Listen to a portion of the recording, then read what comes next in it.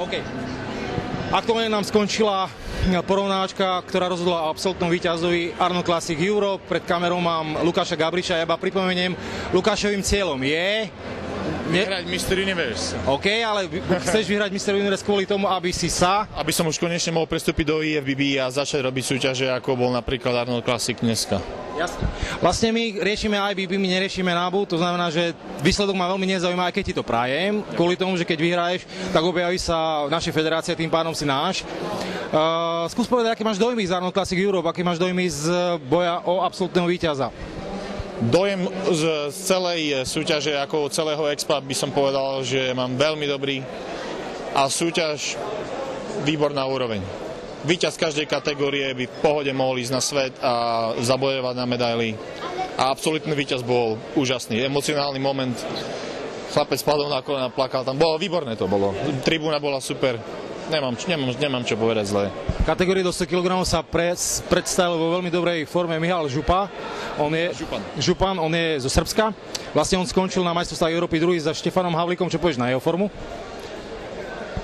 ten chlapík je z inej megule. Nie je veľký, ale jeho forma je úžasná. Je tvrdý, vyrysovaný, vyseparovaný aj na miestach, kde by človek ani nečakal. Čiže fair play, úžasný preteká. On takisto najprv štartoval v Federácii NABA, teraz prestúpil do IBB a myslím si, že mu to pomohlo. To znamená, že je tam väčšia propagácia. Uh, nerozmýšľal si nad tým, že v prípade, že neúspeješ, to znamená nevyhráš Universe, že či sa neprestúpiš aj ty do IBB? Uh, môj nový coach John Hodson má so mnou plány, aby som to urobil aj tak. Samozrejme, že moji sponzory USN, to musím všetko prediskutovať, lebo... Áno, Eh, samozrejme to musím prediskutovať z eh, všetky kroky s mojim sponzorom, čiže uvažujem nad tým samozrejme. Eh, stále som súťažil v NABE, ale IFBB je IBB. Súhlasím. My sa veľmi dobre poznáme s Williamom Tierney. William Tierney je uh, šéf UK IFBB. Uh, spomínal mi tam niekoľkých chlapcov, myslím, že z Litvy, Dabraska za Spol, ktorí vyzerajú veľmi, veľmi dobre. Dokonca mi tvrdil, že za nejaké mm, dva, dva týždne mali by byť majstrovstvá anglická IFBB a že majú 200 súťažiacich.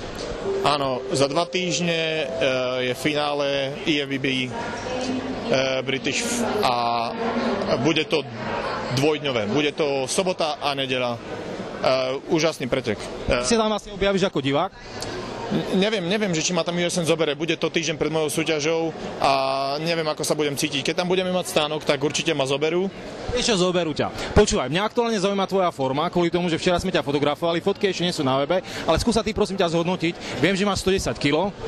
Áno, momentálne mám 110. Možno, že som schudol, lebo teraz sme boli tu na cestovanie. A tak... 109? Tak, možno 109,9. No a forma, treba to ešte podoťahovať, treba, treba ešte zhodiť nejaké tie kilečka a stiahnuť tú vodu. Momentálne to je e, na nízkych sacharidoch, čiže to telo nebude také výrazné, ale to dotiahneme. Za tie 3, 3 týždne to bude OK. Jasne, ja ti dôverujem, ja ti verím. Držím prste, nech sa darí. Ďakujem pekne za interviu a chcem ťa ešte poprosiť, daj dole tričko, ukáž nám, ako máš formu.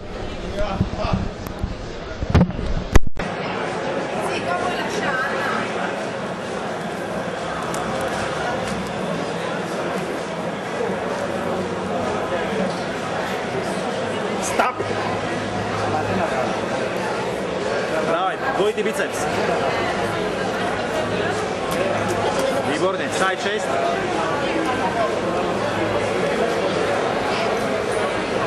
OK, triceps.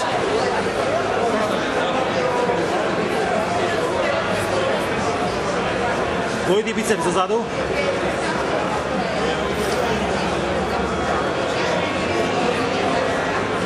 Áno, chrbát.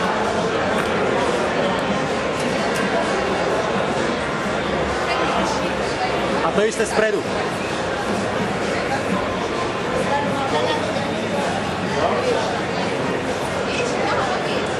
OK, moc muskulár.